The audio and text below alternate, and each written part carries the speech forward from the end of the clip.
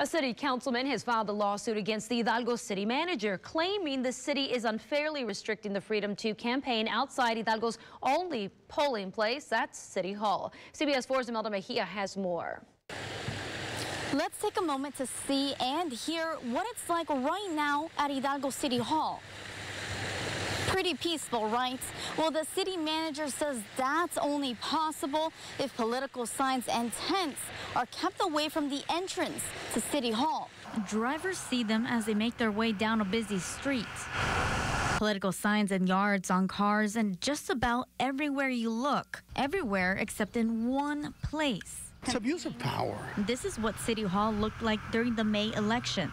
After the city manager issued an administrative order denying campaign signs from being posted at City Hall, this is what it looks like now. City manager Julian Gonzalez denies the allegations made against him and says his actions were done with safety in mind. Enormous signs the, where we've had mass, massive destruction to our electrical lines and to our water system and costing the taxpayers uh, money to, to do the repairs because we have to come back and do all those repairs. But Rudy Franz, Hidalgo City Councilman and an active electioneer with the political organization Concerned Citizens of the City of Hidalgo Committee, sees it differently. It's brought out um, more people, it's brought out more voters the way we did it before. Right now, as you can see, it's a very low turnout for the same reason you got to have action in order for people to get excited.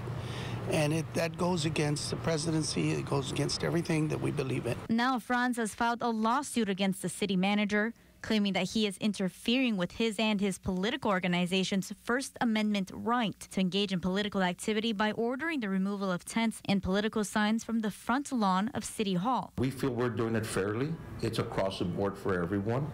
Uh, our citizens have given us numerous uh, comments regarding that they feel a lot more at ease coming to City Hall to conduct day-to-day business. Gonzalez has been working on passing an ordinance that designates a specific area for political campaigning. But after three attempts and no quorum to be able to take action, he declared the front lawn to be sign and tent free, forcing political activity into the parking lots of City Hall. The temporary restraining order is currently pending review by the 398 District Court Judge Aida Salinas. In Hidalgo, Imelda Mejia, CBS 4 News and TheValleyCentral.com.